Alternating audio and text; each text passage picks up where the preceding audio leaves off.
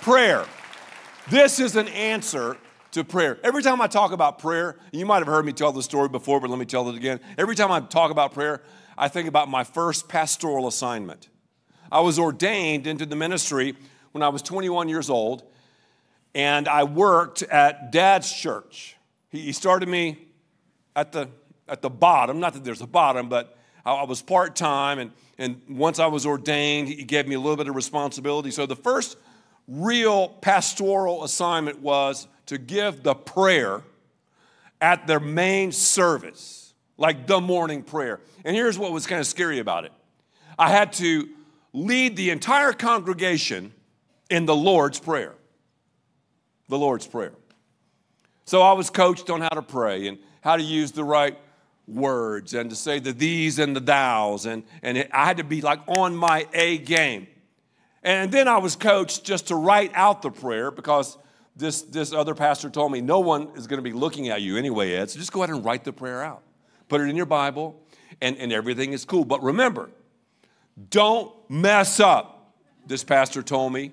And especially don't mess up on the Lord's Prayer because you'll have all these people repeating the Lord's Prayer after you. So just, just, just, just go with it. Know it well. I said, I'm going to do it.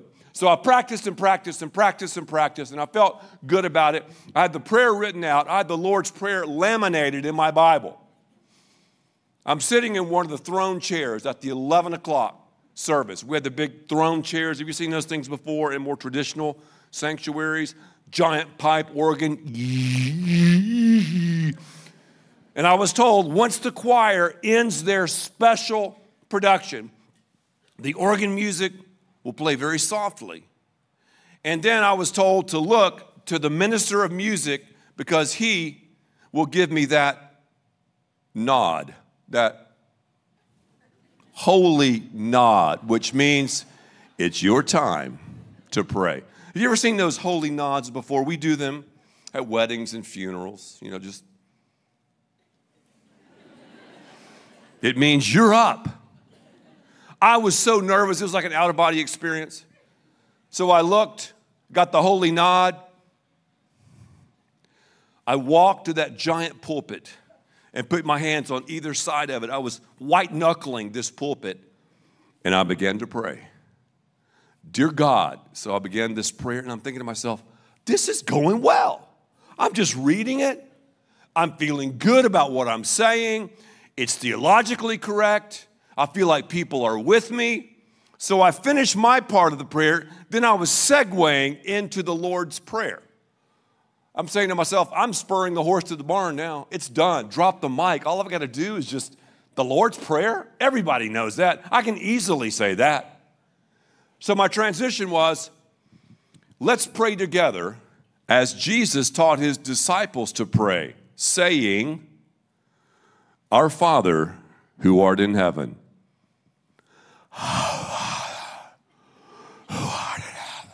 Thousands of people repeating that. It kind of just like blew me back on my heels. I'm like, whoa. Hallowed be thy name, I read. Hallowed be thy name. Thy kingdom come, thy will be done. Thy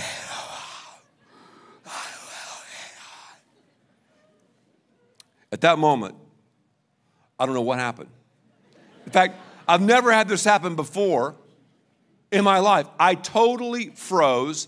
I choked. I blanked out. I couldn't read. I couldn't speak. I just like, ah, ah, ah. and then the church tried to continue the Lord's Prayer. They didn't know most of the Lord's Prayer. Laughter broke out. what an idiot. He'll never make it. and then I just kind of started crying. I said, In Jesus' name, amen. and I closed my Bible and I walked down those carpeted steps. It seemed like the steps were like two or three hundred steps, they were only about three. and I saw an opening on the front row, on that front pew. I sat down, and of all people I sat by, I happened to sit by my mother. My mother never sat on the front row. And people were laughing. I mean, it was sad, it was pathetic. And my mother leaned over to me in the midst of laughter and she said, Ed, your voice sounded really good.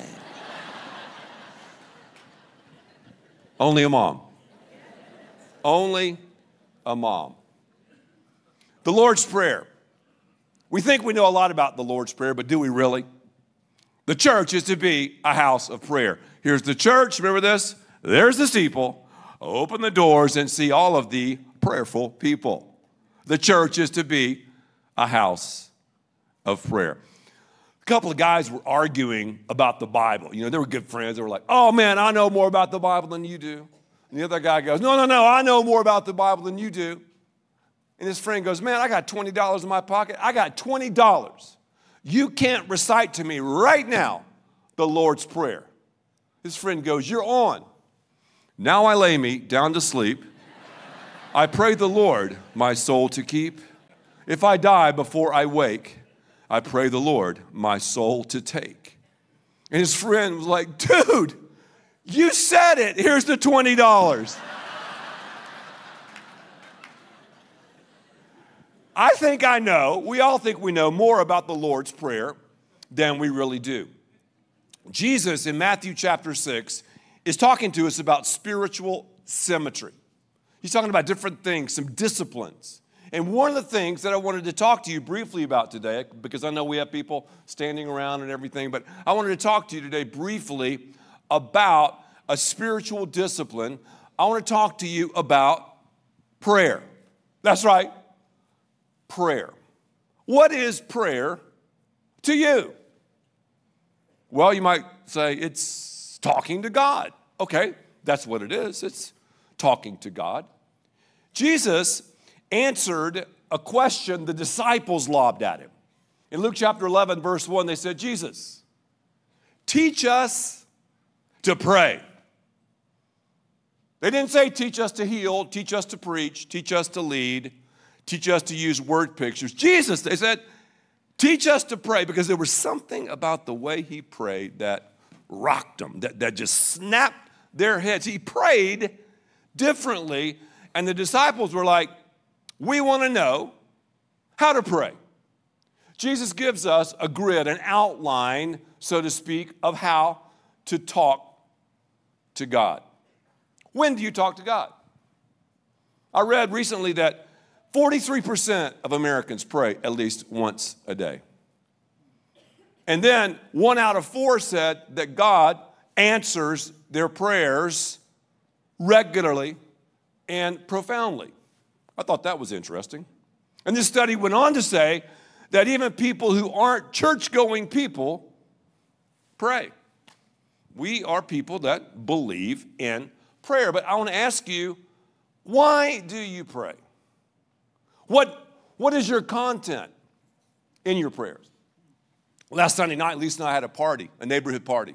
And it was really fun because we met a kaleidoscopic range of people around our neighborhood. And, you know, you talk to people, the, the conversation kind of has a flow, doesn't it? You just kind of got to know someone, you introduce yourself. Maybe they talk about what they like, and you might ask them the quintessential, What do you do professionally? What do you do for a living? And you go back and forth. And the longer you talk, the more intimate it becomes. There's a, there's a, there's a flow to it. Well, well, Jesus, in these 68 words, it only takes what, 25 seconds to recite the Lord's Prayer. Jesus gives us an outline of how to pray. I believe we really begin to pray when we can throw out our cliches, our kind of memorized, you know, Christianese that, that we have. In other words, we shouldn't pray like I prayed when I botched the Lord's Prayer. I hate to confess this, but I think I was thinking too much about what people thought of me as opposed to talking to the Lord in prayer. And this is what Jesus is saying. Jesus is saying, don't be like the hypocrites. Oh, they blow the trumpets. They, here I am praying. They say, oh, here I am fasting. Jesus said, don't be like that. Pray this way Our Father. That's what he said, Our Father. When his hearers heard that. Our Father totally blew them away. It blew away the Jewish stereotypes because when you call God your Father, that is an intimate term. In, in the original language, it, it means dad. I'm a dad. Any, any dads here? Lift your hand if you're a dad. Man, let's give it up for the dads. Being a dad is great, isn't it? It really is. Being a dad is great. Jesus is acknowledging that God is his father, and he's saying to you and me, we need to acknowledge that. God, you're my father, dad. I love for my kids to call me dad. When I see their names come up on the phone, I'm going to take the call. Even to this day, and we have adult children and now grandchildren, when I hear dad or granddad, they call me Big E and Lisa Muzzy. But when we hear that, it's like, whoa, man, I like that. You know, there's, there's, there's nothing like it. I mean, think dad's back. Or maybe you're in this stage, fathers right now, when, you when your little ones lift, your, lift their hands and go, Dad, Dad, Dad. There's nothing like that. Dad, our Father. I like our Father. It's, it's a, a plural pronoun, our Father. I get messed up when I think, you know what? It's it's just about me. It's, it's, it's, it's just about my needs and what makes me feel good and what makes me look good. Our Father.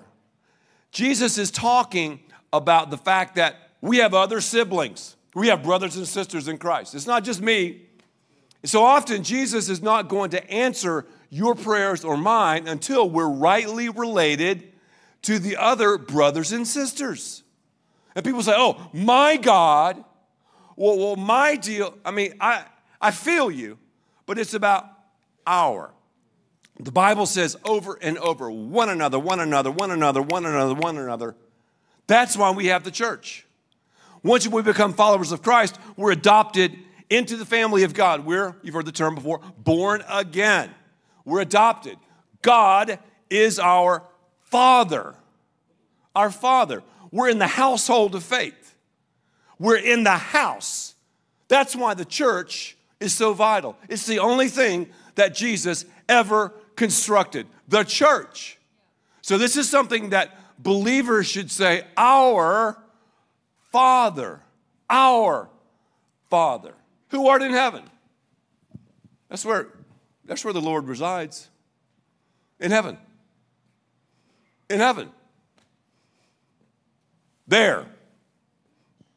Way out there, you might think.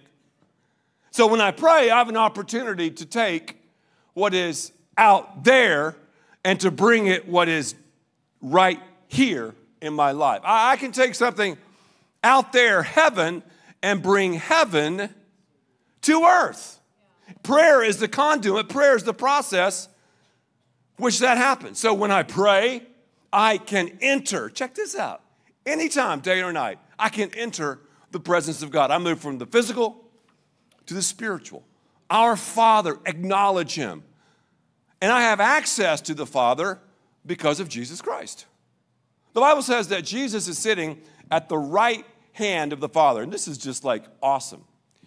Jesus is, is praying for you and for me right now. Applause sign.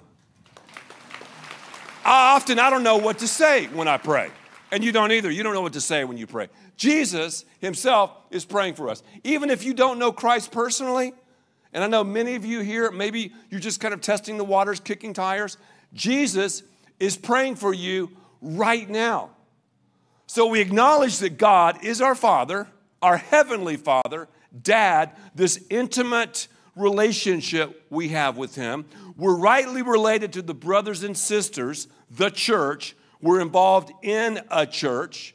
We have access because of Jesus. Jesus is our high priest. You don't have to go through a priest or a pastor to pray. Our Father, who art in heaven.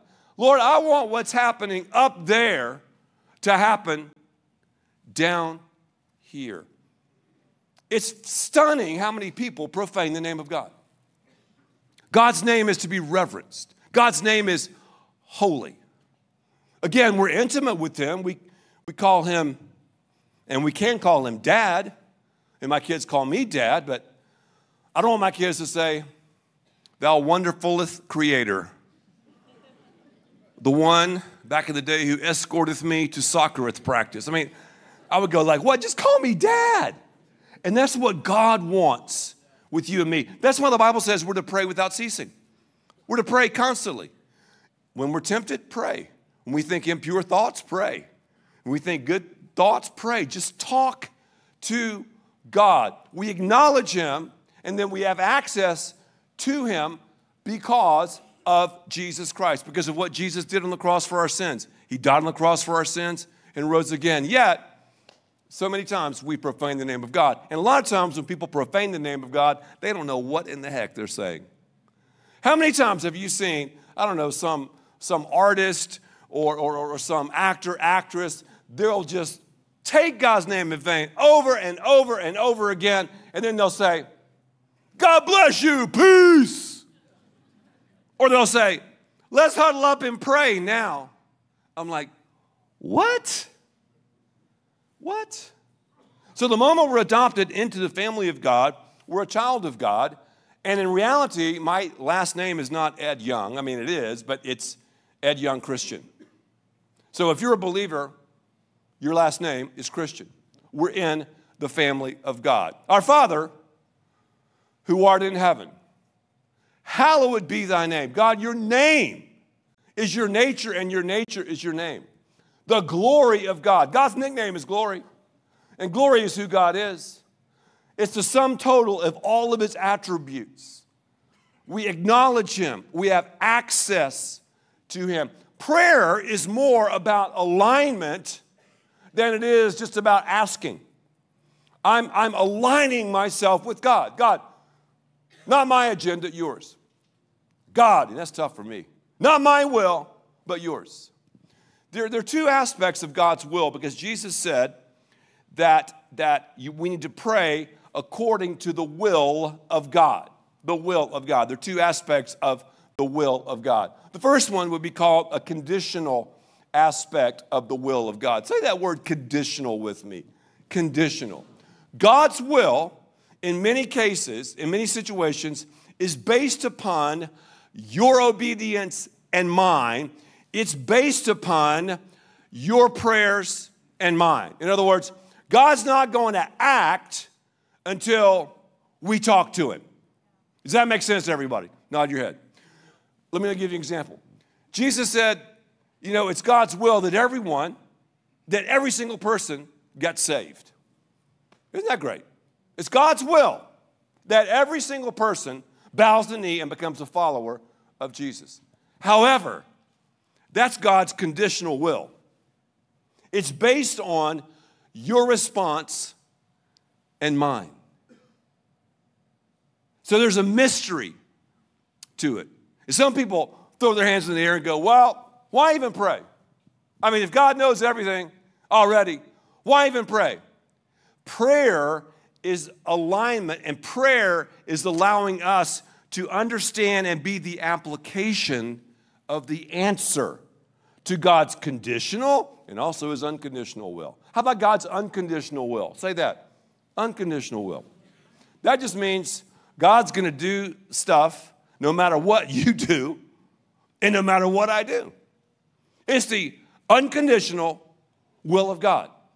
Yet God wants so much for you and me to have this deep fellowship and relationship with Him, He wants us to talk about all situations with Him. Prayer is that process, it's the conduit between heaven and earth. A lot of us just got back from Israel. If you've not been to Israel, we're going to go again a year from March. I took a passport with me. Anybody have a passport? Yeah. All right. When I, when I had that passport, I'm standing in line, and you know, you walk up and you give the passport to an official to, to allow you entrance into, for example, Israel. And in Israel, man, they don't play. They don't, they don't, they don't mess around with security. So, you know, give the passport to this gentleman or this lady, and they will ask you, you know, why are you going to Israel? And scan it and everything and make sure it looks like you. And, you know, mine, my passport picture, I'm like bald. And, and, and I said, well, you know, I had hair transplants. I had to shave my head before they did the hair transplants. And so they kind of laugh. Most of them do. They let me, though. I, I seriously had hair transplants. And we're going to do a series one day called Hair in the Bible. Hair is mentioned a lot. That's a whole other subject. So they allowed me to enter another realm because of my passport. Prayer is your passport. How do you enter another realm? Through prayer. Prayer. So you acknowledge who God is, you have access, you have alignment. Then Jesus said, Ask. Go for the ask. Give us this day our daily bread. How specific is that? God is magnificent, but also microscopic. I remember years ago, a friend of mine said, and I have a hard time praying about these specific things because, man, God has more to worry about than my, than my deal. Are you kidding me? The Bible says God knows the number of hairs on our head, even if that number is diminishing or by the miracle of hair transplant surgeons, it's increasing. I don't know. God knows, and God is concerned. Think about this. The God of the universe is concerned about those little things. Those things you think, oh, they're insignificant. Oh, that thought, no big deal. That relationship, does God really care about that? I'm telling you, God does. When we begin to ask God for things, we realize He's the source of it all. Ask, ask, ask. We've been talking about how to upgrade our decade. 3,650 days, roughly, and then we'll get to the year 2030. And part of this spiritual symmetry is this beautiful conversation with God called prayer. Then Jesus hit the, the heart of it. He talked about forgiveness. Woo, man, is that a difficult subject or what? Now, this is a prayer for all of you Bible scholars that Jesus could not pray. And forgive us our trespasses, he's sinless. As we forgive those who trespass against us, see, he can't pray that prayer. He only called God God one time in the Bible when he was dying on the cross for your sins and mine. Isn't that interesting?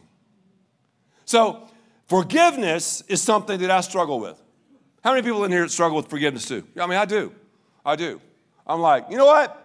I'm not going to release this person. I'm not going to forgive this person, this, this coach who messed me around until he comes crawling back to me and goes, Ed, I was totally wrong. Will you forgive me? Then, then, then, I'll grant him forgiveness. Or my parent, my parent was so wrong. They were so abusive. They were so this or so that. I'm not going to forgive them until they come crawling back to me and say, you know what? I was wrong. I blew it. I messed up. Or my friend who ripped me off in this business deal. Or that teammate who lied about me and put something on social media. When they come back to me, then I'll give them forgiveness. Well, here, again, here is here would be the guts of the gospel forgiveness. All I've got to do is look at the cross and realize I'm greatly forgiven. And forgiveness is more for the one who's been hurt than the perpetrator. Because that perpetrator will probably never come back to you. That ex spouse will never come back to you and say, you know what? I cheated on you. I was wrong. Will you forgive me? That's probably not going to happen. So, the enemy, if I'm the devil, I want you to turn that over and over on the rotisserie grill of your mind and I want to keep you from being the kind of person that God desires. I want you to get so enraged, so upset, so fixated on that person who messed you around that you don't walk in the kind of freedom that God desires. Unleashing unforgiveness is unbelievable. I love trucks. Know, we have half ton, three quarter ton trucks, you know, around. This is Texas. Truck country. Sorry, Florida. Oklahoma, I know, is truck country. And there are more and more trucks in Florida. A truck, though, has this, has this amount, this number on it, and, and the manufacturers know how much weight this truck can handle. The Bible tells you and me, 1 Corinthians chapter 10, verse 13, let's read this together. One, two, three. No temptation has overtaken you except what is common to mankind. And God is faithful. He will not let you be tempted beyond what you can bear. But when you're tempted, I mean, we're going to tempt, be, be tempted. He will also provide a way out so that you can endure it. I call this the the truck verse. God knows you and me so well. He knows how much you can take, how much my frame can take. He's always going to provide a way out. God doesn't lead us into it, He leads us around it, and we can be delivered from evil. So, check this out. When you pray, acknowledge God, who God is. We have access to God because of Jesus Christ. We're aligned. Not my wants, God, but I want what you want because I know what you want for me is the best. Then we have this awareness of the, of the power of God. And then within that, too, we have the opportunity to ask. All right, what's your homework? Here's your homework. Give me about 90 seconds. There's a hand on the screen. I traced my hand. Have you ever done that before? Is that fun to do? That's your homework. Go home, you're like, what? This is like in the first grade. Trust me, go home and trace your hand. First of all, I want you to acknowledge, acknowledge, acknowledge, as we've been talking about, God, you're my Father. This is the pattern of prayer. Next, access. We have access through Jesus. Acknowledge God, adore Him, call Him Dad, realize the access and the price that's been paid. Then we have the alignment. The alignment. What are you struggling with? Oh, this is mine. This is my will, my agenda. But no, no, God, I want to surrender it to you. That's alignment. How about asking? I mean, Jesus is saying, ask for your daily bread. Thank God for it. What do you need to ask Him for? And then we're aware, aware of God leading us around temptation. We're aware of it. Once you do that, here's what's going to happen you'll have a grasp on prayer. You'll understand that template, you'll understand that guide. And we also have it on our app. If you don't have our app, go to the App Store. It's free, free 99, Fellowship Church, and it's on the app. Also, on top of this homework, establish a place where you pray every day. Here's where I pray. I took a picture of where I pray. This is sort of like my chair that, that I I try to pray every single day right there. So, so have some chair time. At least 10 to 15 minutes a day. Begin opening God's Word. Begin to pray. We have it on our map, on our app, and we have you a map on how to pray. So, what am I saying to you? I'm simply saying this pray. How do you pray? You start praying. I mean, if LeBron James walked up here and talked about how to shoot a jump shot, would you listen? I would. If Tom Brady said, here's how to pass, I would listen. If Jeff Bezos said, Here, here's, here's, how to, here's how to start a company, here's how to be an entrepreneur, I think we'd all listen. What if Beyonce said, okay, here's how to sing? Woo, Beyonce! Are you kidding me? Are you kidding me? We would listen. Jesus is teaching us how to pray. We need to listen and obey and do the stuff. What do you say? What do you say when you get that nod? How do you pray when you get that nod. Let's pray together. Every head is bowed and every eye is closed. Father, thank you so much for this message. Thank you for this amazing church. I thank you that we are brothers and sisters in Christ. And I thank you that we can be a part of this household of faith. And Lord, I pray if there's someone here and you've never, ever, ever become a follower of Christ, a Christian, that you would pray this prayer with me. Now, this is a prayer that I prayed years ago when I became a Christian. This, though, can be your prayer, and I'm going to lead you and guide you on what to say. Because I've got news for you God loves you right where you are. I don't care what you've been involved in or what you did last night or, or, or whatever. God loves you, and He wants to have a relationship with you.